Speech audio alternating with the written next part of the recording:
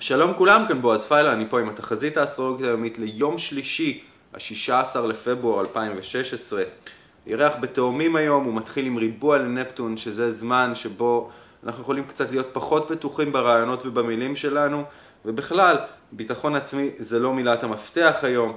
אנחנו צריכים לשים לב לרגישות הזאת שמתפתחת אצלנו ולא לפתח אותה למשהו יותר גדול ממה שצריך. יש גם 145 לוונוס ב-4 אחרי הצהריים. שזה זמן שבו מערכות היחסים שלנו נמדדות ואנחנו יכולים להרגיש קצת פחות מרוצים מהרגיל. עוד פעם, דרמה מיותרת להשאיר בחוץ. ויש גם מולות לשבתאי בערך בשש בערב, שזה בכלל יכול להיות זמן שאנחנו מרגישים כאילו לא מספיק מבינים אותנו, לא מספיק תומכים בנו, קצת עזובים, קצת נטושים, ושכולם וגם אנחנו יכולים להיות מרוחקים מהרגיל.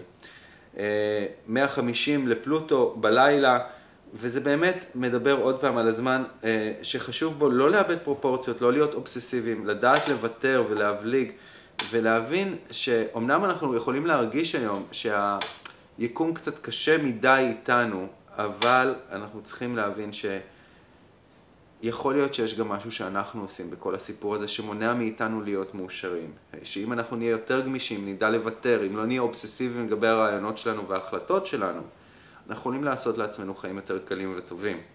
אז העניין פה הוא להיות מאוד מאוד רכים היום, ומוקירי תודה על מה שיש, ולהסתפק במה שיש.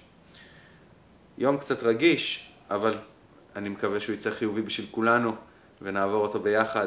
הוא יום מצוין למוח חד, לעבודה של כתיבה ולדברים מהסוג הזה.